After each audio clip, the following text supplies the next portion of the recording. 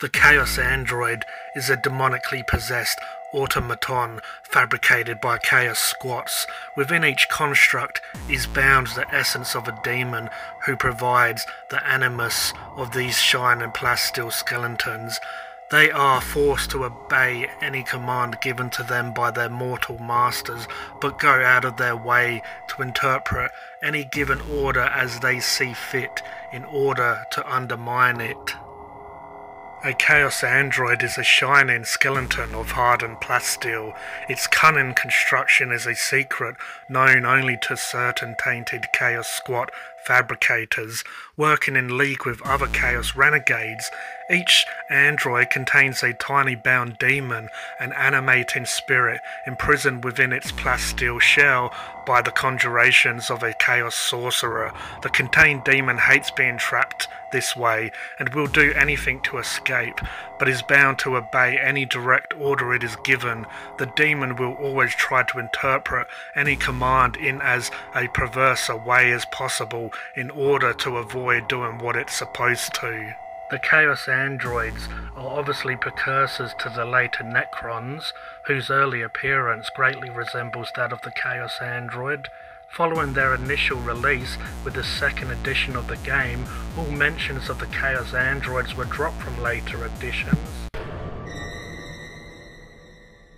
Hey, what's going on everybody? This is G the Hyper Sapien, and in this video I'm going to paint the Chaos Android. So I thought I'd do a little bit of a lore for anyone that may not know the Chaos Android.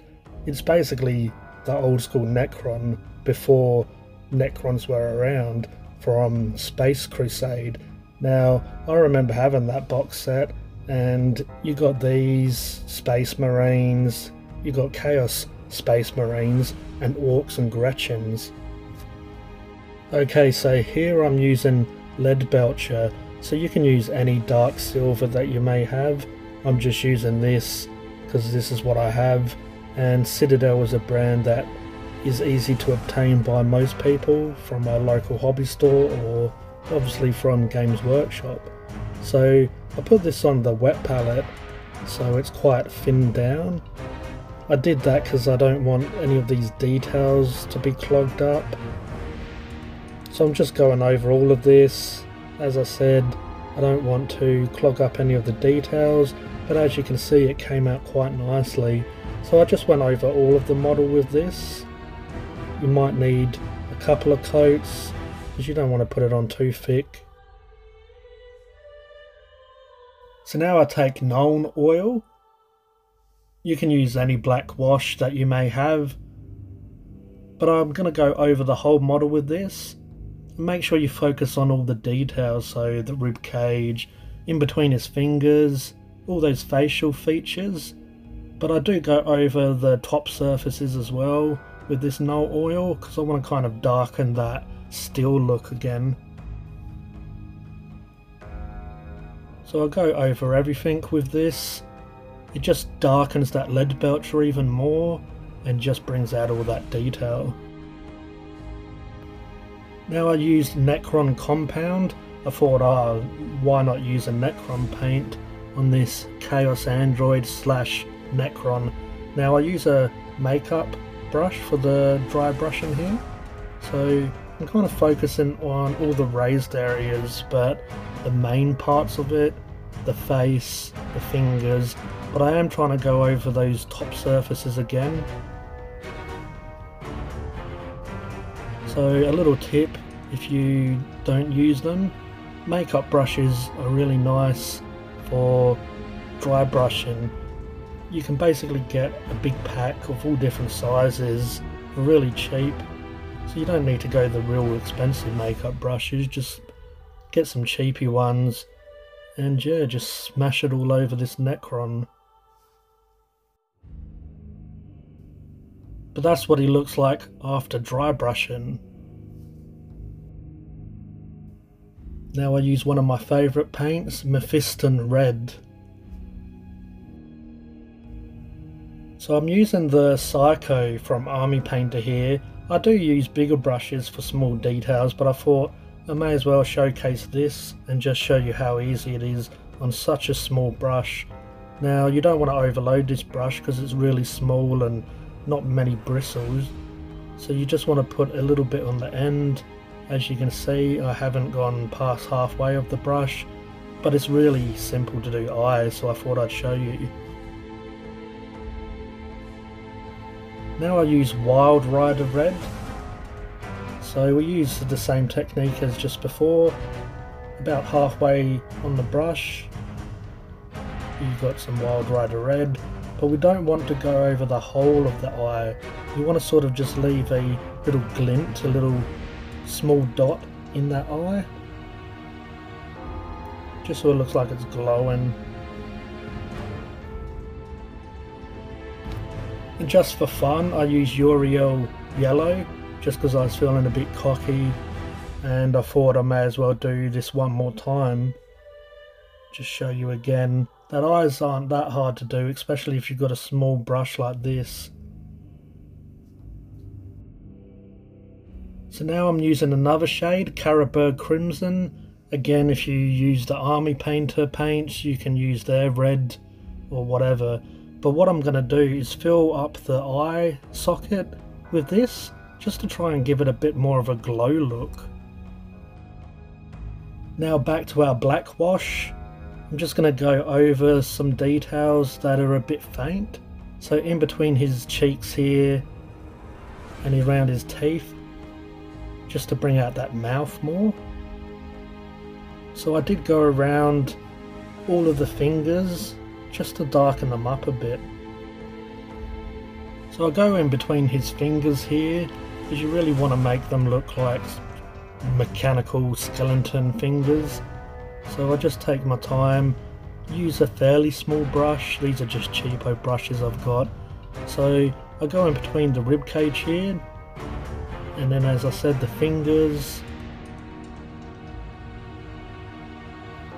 Now I tried to add a bit of shade here on the gun. So I go around a certain part, but if you can see I've shaded it, so I've left some parts the previous colour and then I've gone around and added a bit more in between certain details. So now I use Phoenician Purple and Daemonette. I just for this little bit on the gun here We'll do it purple. So I do the darker one first over, and then I just get a little bit of that daemonette hide and just do little dots along just because it had a little bit of a separation in between it. Now we take a purple shade and we just go over that area and I do a little bit around it just to add a bit of a glow. But this is just a tabletop standard Necron now. But if you could give me a like, if you haven't already, subscribe and hit the notification bell, I'd really appreciate it. But for anyone that wants to keep on working on this with me, we're going to take it just a little bit further. So I've got the air Leadbelcher here. It just goes on nice and smooth once you've got that base coat down. So I go over all the raised areas, so his muscle or skeleton so we just go around his spine, go around his shoulders here. I just thought I'd do the beginning of the video as a sort of quick get them onto the tabletop standard for anyone that just wants a few tips. So you can sort of smash out your Necron warriors with that technique, but I was really enjoying it. So I thought, oh, why not just push it a little bit further and just add a few more details. And I mean, this didn't take that long anyway, so if you want to do all of these techniques for your tabletop standard, but yeah, I'll just go over it with this Leadbelcher air, because it's really nice and smooth, and I just go over all those raised areas, his nose, his chin, his teeth, just anywhere that I want a bit more highlight. Also at the start of the video for the tabletop standard, I thought I'd use easy paints that most people have, basic colours. But now I'm obviously using contrast and I used air paint. So not everyone would have these, but you can use Leadbelcher and then you can use any black paint here. But this is already pre-thinned or It's not a chunky paint so it just goes on really nice and smooth here. But just take your time and go around the gun and don't get it on the Necron or the Chaos Android here. I thought this really separated it though and made it look nice.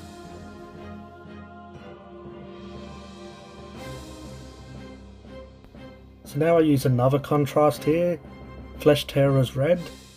Now we're basically doing what I did with the wash, because I thought uh, everyone would have the shade, or a red shade most people would have anyway, but I wanted those eyes to stand out a little bit more, so I used this, and also you'll notice I went around his chest piece. I just thought I loved the way it looked, but I was really enjoying painting this, so I wanted to add a bit more red, make it a bit more chaos-like, or if I had a Necron army, I'd probably change the green to red. Now I really do like the green look on Necrons, but I don't know, I really like that red, makes it look really...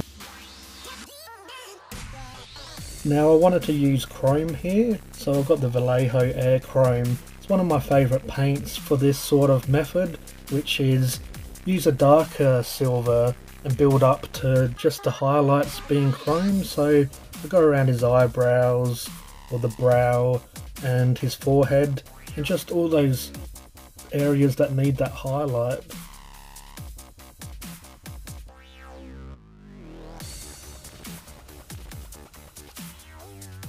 Now I'll just go over the tips of his feet here with some chrome.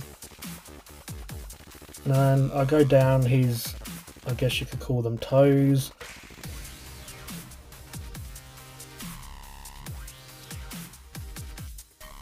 So just take your time and try to leave a little bit of the shadow in between these parts.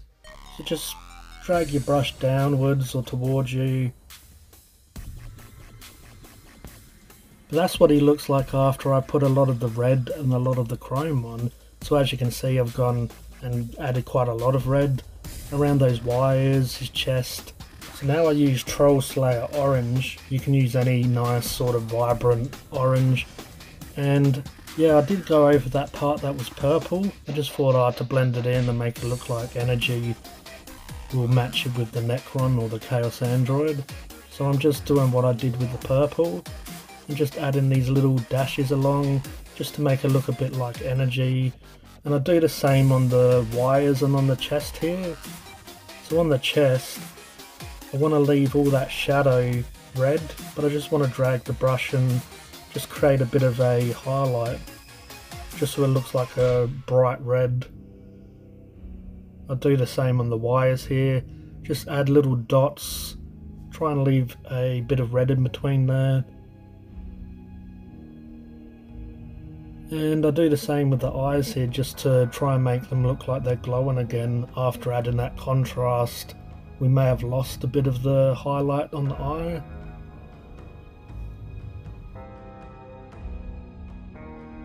So now we do the same that we did to the chest, but to this energy on his back here.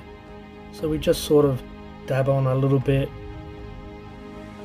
and we just create some lines and we want to keep that red in between again so it looks like a shadow to the bright highlight. Now I could have probably used that Psycho brush here, would have helped, but wasn't being too neat. I mean, I am doing this for sort of a speedy video, I'm not doing it for a golden demon. But basically we want to do the same effect. We want to add the orange on the highlight, but we want to keep fair bit in between there for the shadow. So I do this to most stuff. I even do this little, looks almost like a button or something on his back. I do that. And a little bit on his head there. So now we're going to use the black wash again. So I wanted to sort of help blend all of this stuff together. So darken everything that I've done. Even that orange I wanted to darken a little bit and help it blend with the red a little bit more so it doesn't stand out as much. And just this was my painting video for a Chaos Android or a Necron Warrior. Let me know in the comments if you enjoyed it. I really appreciate you watching As always, this was G the Hyper Sapien, and I'll catch you next time. Cheers!